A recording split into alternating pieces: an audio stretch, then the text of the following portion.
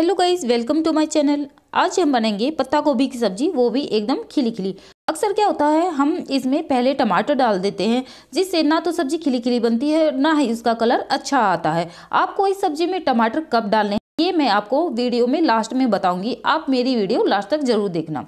पत्ता गोभी की सब्ज़ी बनाने के लिए लेंगे एक कढ़ाई में चार चम्मच ऑयल यहाँ मैंने मस्टर्ड ऑयल का यूज़ किया है, आप अपने अकॉर्डिंग कोई भी ऑयल यूज़ कर सकते हो।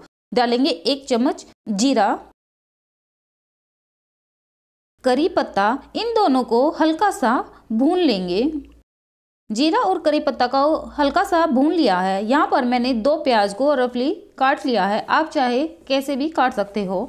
अब इसे डाल देंगे और इसे हल्का ब्राउन होने तक भून लेंगे।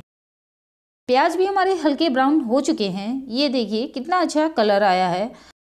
यहाँ पर मैंने छः सात लहसुन की कलियों को बारीक बारीक काट लिया है। डालेंगे बारीक कटा लहसुन। और यहाँ पर मैंने दो हरी मिर्च को लंबा लंबा काट लिया है। आप चाहे तो बारीक बारीक काट कर भी डाल सकते हैं। डालेंगे हल्दी पाउडर। मसालों को अच्छे से मिक्स कर लेंगे और हल्का सा भून लेंगे। मसालों को हमने हल्का सा भून लिया है। यहाँ पर लिए है मैंने दो आलू। आलू को छोटे छोटे पीसेस में काट लिया है। इस तरह से। अब इसे डाल देंगे। डालेंगे थोड़ी सी मटर। अब इसे मिक्स कर देंगे। डालेंगे नमक। अपने स्वाद के अनुसार नमक को भी इसमें अच्छे से मिक्स कर देंगे और ढक कर इसे दो से तीन मिनट के लिए पकाएँगे और बीच में इसे चलाते रहेंगे। फ्लेम को मीडियम रखेंगे। और अब इसे बीच में एक बार अच्छे से चला लेते हैं। और अब इसे ढककर फिर से पकने के लिए छोड़ देंगे। यहाँ पर दो से तीन मिनट हो चुकी हैं। अब यहाँ डालेंगे पत्ता गोभी पत्ता गोभी को हमने इस तरह से बारीक बारीक काट लिया है। अब इसे सब्ज़ी में डाल देंगे। इसे अच्छे से मिक्स कर देंगे।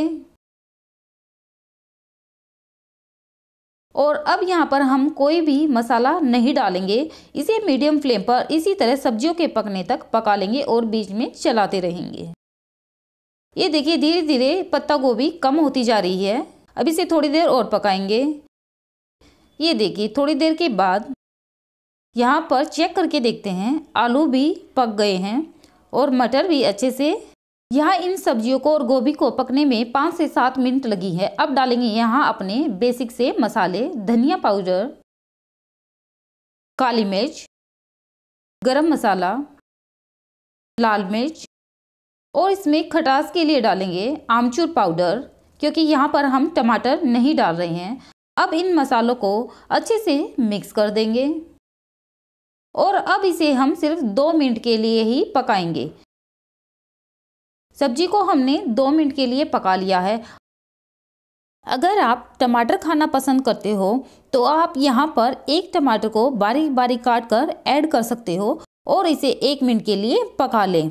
अब यह डालेंगे कसूरी मेथी। इसे भी अच्छे से मिक्स कर देंगे और फ्लेम को ऑफ़ कर देंगे। ये देखिए, पत्ता गोभी की एकदम खिली खिली सब्ज़ी बनकर तैयार है। अब इसे एक अलग बर्तन में निकाल लेंगे। पत्ता गोभी की एकदम खिली खिली सब्ज़ी बनकर तैयार है। आप इसे ज़रूर बनाएँ और मुझे कमेंट करके ज़रूर बताएँ आपको मेरी वीडियो कैसी लगी। और मेरे चैनल को लाइक, शेयर, सब्सक्राइब करना ना भूलें। फिर मिलते हैं एक नई वीडियो के साथ। बाय।